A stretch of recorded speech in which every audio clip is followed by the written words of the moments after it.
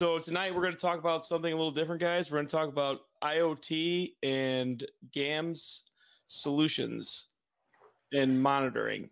Steve, you want to tell uh, everybody about yourself? Absolutely. This year is going to be my 10th year with Electronic Technologies.